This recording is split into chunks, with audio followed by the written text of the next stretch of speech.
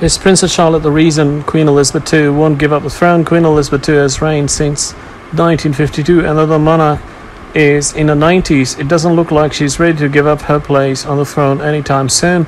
With a son and successor, Prince Charles, turning 70 this year, many people assume that the Queen would announce her retirement, but so far, Kensington Palace has been quiet.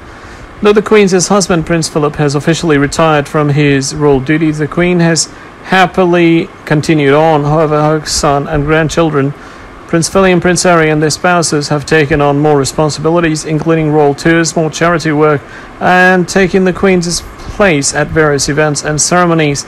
So, why hasn't Queen Elizabeth officially abdicated the throne to Prince Charles? It seems like she has her reasons, and one huge reason has to do with her great granddaughter, Princess Charlotte.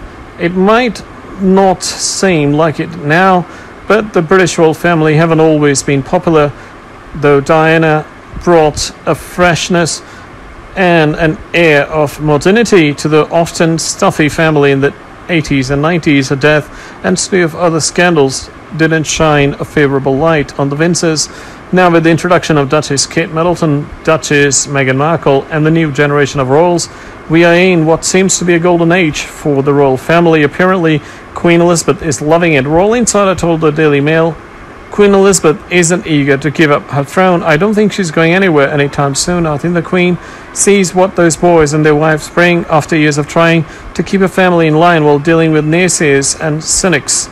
We think the Queen simply wants to ride this wave of triumph as she continues on in her golden years.